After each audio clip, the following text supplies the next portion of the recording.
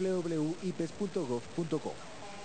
Y una petición especial le hizo el presidente del Consejo de Bogotá, Cielo Nieves, al alcalde mayor Samuel Moreno. El presidente de la corporación solicitó la contratación de mil nuevos docentes para cubrir las plazas que hay en los colegios de la ciudad. Álvaro Aldana, ¿cuántos docentes trabajan actualmente en los colegios de la ciudad? Muy buenas tardes.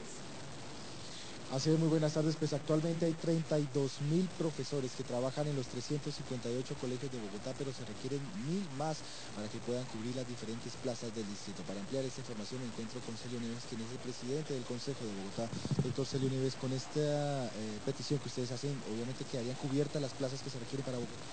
Mejoraremos eh, progresivamente la vinculación de maestros para trabajar en niveles eh, de preescolar, en básica primaria en áreas tan importantes como educación física, artes, informática y la enseñanza de un idioma extranjero, fundamentalmente el inglés. Igualmente se, se deben vincular orientadores escolares para mejorar la convivencia en nuestros establecimientos educativos de la ciudad. Esta sugerencia obviamente surge ante el número de estudiantes por aula que se presenta en la capital. Por supuesto, entonces la relación alumno-maestro se modifica para mejorar la calidad de la educación. No podemos seguir trabajando en aulas donde hay más de 40, 45, 50 y hasta 55 alumnos y esto hace difícil el proceso de enseñanza-aprendizaje en los establecimientos educativos oficiales. Celio Nieves, nuevamente muchísimas gracias.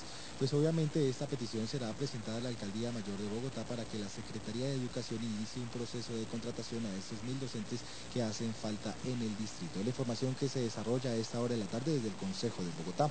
Álvaro Aldana, Capital Noticias. Álvaro, muchísimas gracias.